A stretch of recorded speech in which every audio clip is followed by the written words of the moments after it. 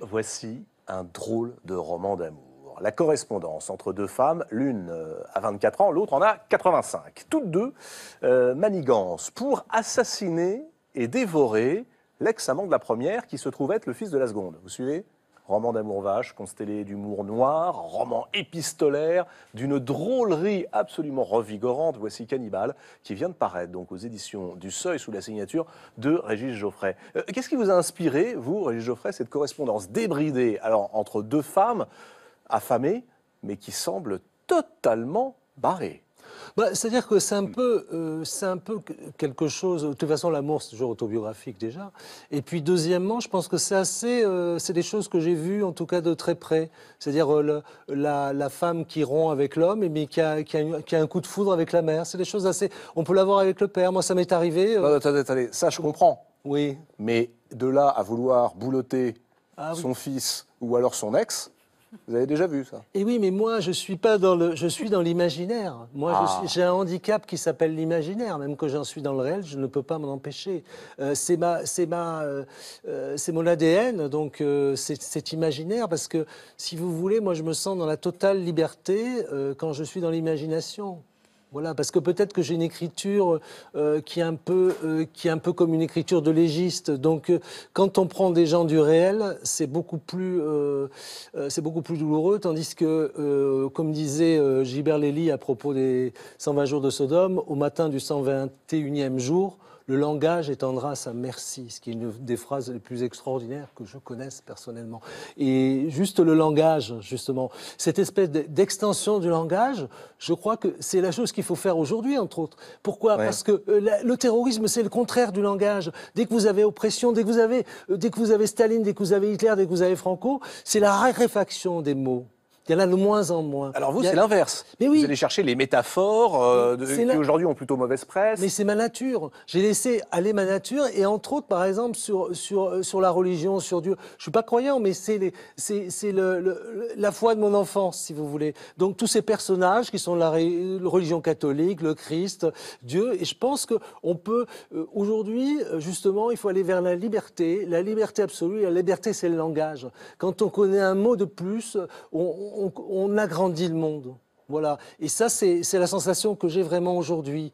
Éloge du langage besoin de, li- de liberté absolue. Est-ce que ce livre, euh, finalement, si vous ne l'aviez pas écrit de cette manière-là, c'est-à-dire un petit peu, euh, pas comme une parodie, mais comme un hommage aux lettres que l'on pouvait s'échanger au XVIIIe siècle en ayant l'air de ne pas être affecté par ce qui nous arrive et en rivalisant de cynisme et d'ironie, est-ce que ce livre aurait fonctionné de la même manière? Sûrement pas, parce que chaque, chaque livre a sa langue, c'est comme une personne, si vous voulez, chaque personnage a sa langue. Mais euh, la langue de ce livre est faussement du XVIIIe siècle, parce qu'en réalité, elle est extrêmement moderne, mais on s'aperçoit avec la langue du XVIIIe siècle qu'on arrive à dire des choses qu'on ne pourrait pas dire autrement, parce qu'il y a assez peu de mots en français par rapport à l'anglais, par rapport à d'autres langues. L'allemand peut coller des mots. Et nous, quand on est dans, dans ce côté euh, un peu baroque du langage... on Ironique arrive- aussi, non? Comment? Ironique, cynique Ironique, mais ça, c'est ma nature. euh, euh, j'ai toujours été ironique et cynique dans, ma phrase, parce que euh, dans le cynisme, il y a vraiment euh, d'essayer de dire la vérité. Mais euh, si vous voulez, dans, le langage, quand il devient une espèce de complication, quand il devient un lasso, il, peut dire, la langue française peut dire des choses insoupçonnées. Enfin, moi, c'est l'impression que j'ai eue en écrivant ce livre. Et, y compris quand vous faites un tout petit peu de, psychanalyse, façon Régis Geoffrey. Manger son enfant, bah, je crois bien que c'est le fantasme enfoui de beaucoup de mères. Ingurgiter ce que nous avons un jour expulsé, écrivez-vous, page 68. Oui, parce que je suis, je suis profondément dans les contes. Et ce qui me frappe euh, depuis quelques jours, je ne sais pas pourquoi, c'est le fait qu'on raconte aux enfants la- le, le petit chaperon rouge.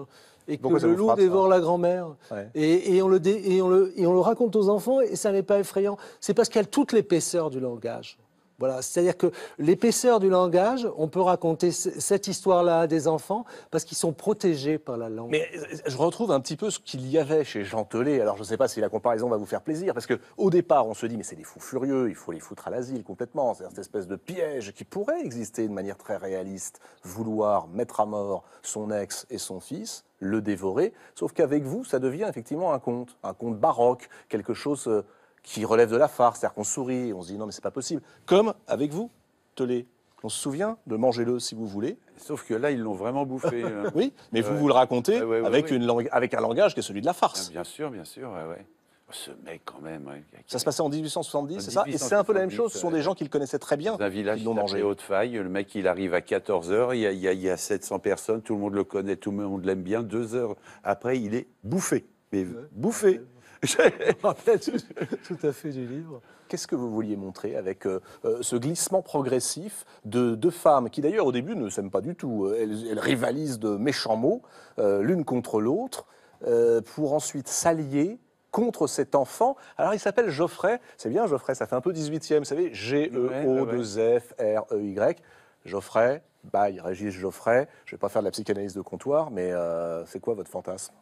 Euh, c'est pas c'est pas un fantasme, mais c'est une façon de me mettre tout à fait dans le livre. C'est-à-dire que je pense qu'au niveau des sentiments, ce sont des personnages qui sont pas du tout euh, incrédibles. C'est les situations les situations dans lesquelles ils sont. Et finalement, euh, ce, ce, ce fils et ce projet d'assassinat, et après, il n'aura pas lieu parce que finalement, c'est toute l'humilité du monde qui arrive. C'est-à-dire, c'est la main du destin. C'est pas c'est pas elles qui décident. Elles pensent qu'elles vont décider l'avenir, et c'est l'avenir qui décide pour elles. Je pense que c'est un peu comme dans la vie quand on projette des choses. Euh, vous savez, tiens, ça me vient à l'esprit. Je crois pas du tout euh, à la cartomancie, ce genre de choses. Et j'étais, euh, j'avais une aventure avec une femme euh, quand j'avais euh, 25 ans, et elle, elle était allée chez sa carto. Non, c'était elle, elle étudiait, c'était une astro.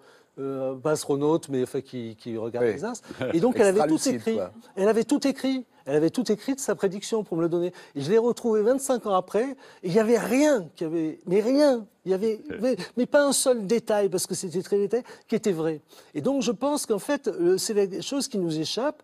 Et en réalité, cette, cet enfant et cet amant.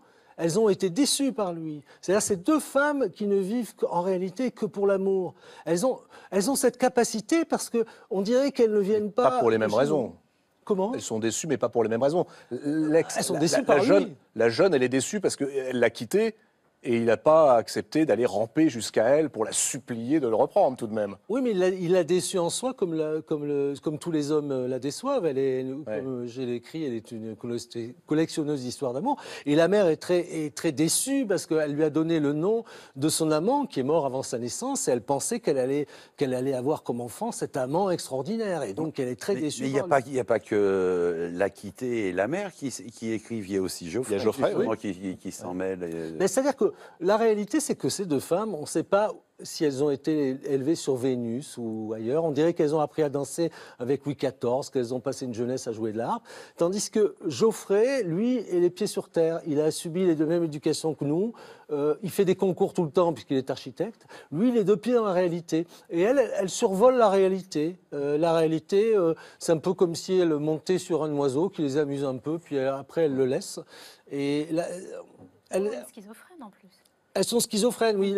La- oui, oui, il y en a une qui est vraiment schizophrène. Quand elle intervient, Ouais, quand ouais. son double. Parce que je ah crois oui, il y en que a une même qui, ça, qui a écrit une lettre euh, signée Oui. euh, oui, parce que même ça, c'est une joie. C'est-à-dire ce qui pourrait être une maladie, en réalité, c'est un peu comme dans les dessins de- de- animés de Tex Avery, on meurt jamais, on tombe de quatrième étage, et même quand on est folle, allié, eh bien, c'est une merveille. C'est-à-dire, ça devient euh, quelque chose de formidable, même pour la personne qui vit cette chose-là. Mais ce que je trouve très fort dans votre roman, Régis Geoffrey, c'est qu'à aucun moment vous ne les dites folles. À aucun moment vous ne les jugez. Après tout, non, c'est peut-être pas une forme de folie. Ah, mais- Juste euh, le délire de la farce et de la puissance du langage. Je crois qu'elles ont une puissance d'aimer, elles ont une puissance de bonheur qui est assez extraordinaire. Euh, je pense que ça, euh, elles, elles- elles ne sont pas du tout des personnages, justement. C'est-à-dire que là, on s'échappe de l'époque, et ce qui est très drôle, c'est que. Euh, ce qui m'a frappé après, si vous voulez, c'est, euh, sans me comparer du tout, c'est un peu comme Proust. Il n'y a pas d'ouvriers, il n'y a pas de gens qui souffrent. euh, euh, L'autre est un grand architecte, etc.